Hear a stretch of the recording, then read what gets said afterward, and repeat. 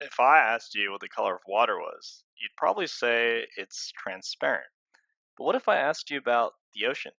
Well, you'd probably say it's blue, but then that's because the sky is blue and, and the ocean reflects the sky. But what if I went deeper? I mean, literally deeper. If we go down past the surface of the ocean, miles and miles deep, we'd find that the ocean is very, very blue and there's no sky to reflect at all. What's going on here? Well, the short answer is that water is actually just not transparent. And you might be wondering, well, how is that possible? And to really understand, we have to go to the drawing board and really dig down into the definition of what it means to be transparent. So let's take an example of a window, which we all know is transparent.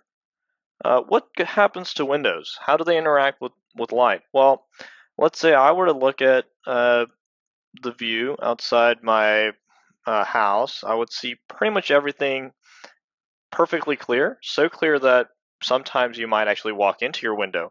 So what does that mean? That means that visible light comes into the window and all that visible light goes straight through. So that's what makes an object transparent. Uh, the fact that it does not interact with uh, or or absorb any visible light, right? Maybe it absorbs other frequencies of light, so UV light or uh, uh, infrared light, but for your eyes, uh, you can't really see that because you only see visible light, hence the name visible. Uh, let's take a look at something that's not transparent. So maybe you have a uh, bottle of sake, uh, and that tends to be green. So it's a green glass bottle. And this, I'm not the best artist here. Let me go ahead and make that again. So yeah, so if we have this bottle of sake, and if you were to look through this bottle, you're going to notice that everything kind of appears green. And there's a reason for that. So visible light again comes in from the sun or whatever. And leaving, you have mostly green light. And that's what hits your eye, right? So you're looking at a mostly green view of the world through the sake bottle. I don't know why you're looking at it, but let's say you are. Uh, the main reason for this would be that the sake bottle is actually absorbing other frequencies of light. So maybe it absorbs the blue, maybe it absorbs some violet, and it's kind of hitting a roadblock and it's filtering those frequencies of light out. And therefore, we would say that the sake bottle is translucent. Okay, so it seems that the main thing that makes something transparent is not absorbing visible light. So if an object absorbs visible light, it's likely not transparent, right? So that that is one of the no not absorb being visible light. That's one of the uh, factors for being transparent, right? So we make a bullet point there. Uh, but maybe you're thinking, well, what about uh, a mirror, right? A mirror uh, shouldn't be absorbing any visible light, right? It actually reflects all of that light. So you have yourself, if you look at yourself in the mirror, you can see yourself in the mirror. Uh, and we would say that the mirror is actually opaque. So no, you can't really see through a mirror, uh, but it's not absorbing any. So what is it doing? It's actually reflecting uh, the light, and we call the measure of something's reflectivity or the percentage of light it reflects its albedo. So it's got 100% albedo in theory. So the other factor for being transparent, so to speak, is is having having albedo albedo less than 100%.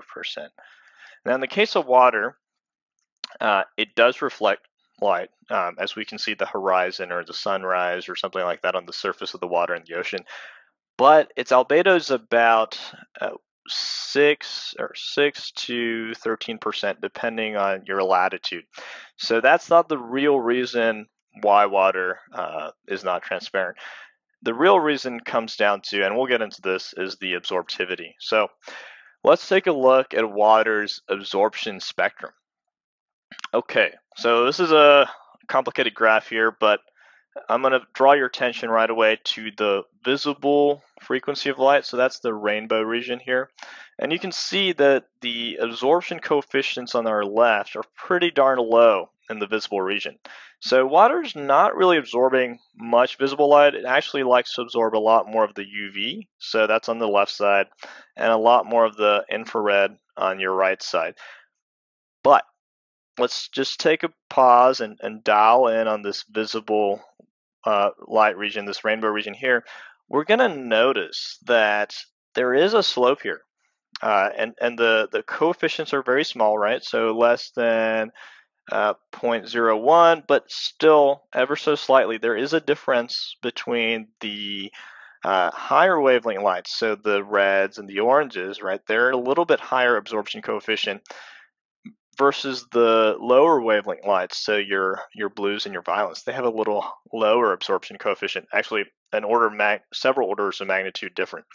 So what that comes down to is water is going to let blue and violet essentially just pass through, right? It's just going to go through.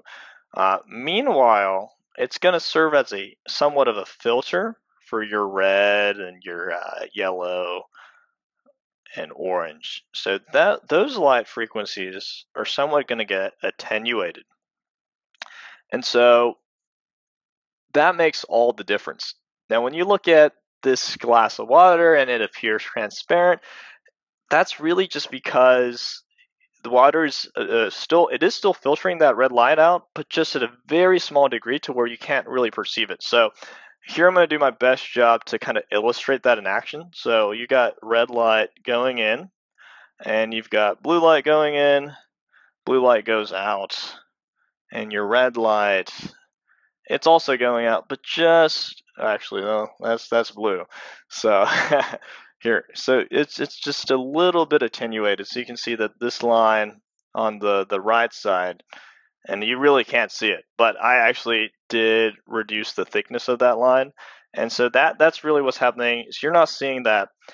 Uh, but if we were to stack uh, these glasses of water on top of each other, essentially stacking filters on top of each other into a column, well, that kind of sounds like the ocean, and this filtration would compound on itself, and you would get a really blue-looking uh, object or water right? So and that's that's really what happens with the ocean. So again i'm going to do my best to illustrate this. You're going to get visible light hitting the surface of the ocean and then you have uh, essentially these filters stacked on top of one another. So filter one filter two filter three filter four so on and so forth. And you start off with blue lights. so the blue light comes in here and your red light comes in also, right? Now, the blue light stays pretty much the same all the way through.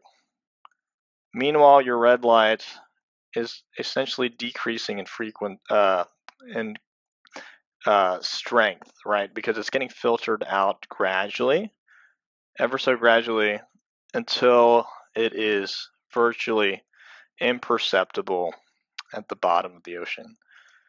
And that is why the ocean appears so blue, especially the deeper you go. Now, you might be wondering one other thing. So, let's say we agree that the ocean is blue uh, because red light gets filtered out, especially as you go deeper. Why is the ocean or the earth actually appear blue when you look at it from outer space, right? How is that blue light from the bottom of the ocean making its way to your eyes when you're an astronaut in space? Well, to think about that, let's think about what happens for that light to get back. So remember how I said water has an albedo of about 6 to 13 percent, uh, which is basically the amount of light that water reflects. Well, that really comes into play here. So at each layer that I've drawn here, a small fraction, 6 to 13 percent, of, of light gets reflected back out, right? So let's visualize that here for each of these layers. I'm going to have a little bit of blue light coming out, and you can see this arrow's a slight bit skinnier than the incoming arrow. And that's my blue light. Uh, same thing happens to the red light, right?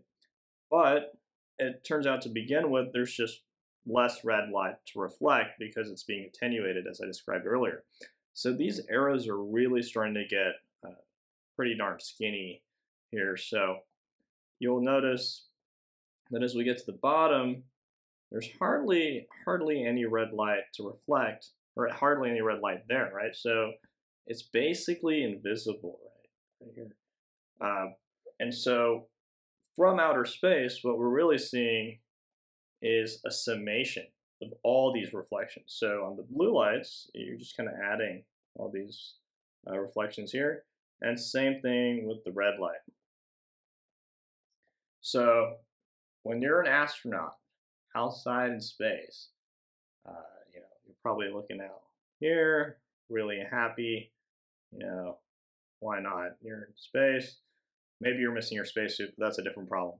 Uh, so very small amount of red light is coming to your eye, but a huge, huge amount of blue light is making its way because of that kind of phenomenon that I explained. That's why the ocean appears blue, whether you're deep in the ocean or whether you're outer, uh, outside Earth. So hope you enjoyed that explanation and uh, be sure to subscribe for more great content. And also, any more questions, uh, feel free to leave a comment down below. Thanks.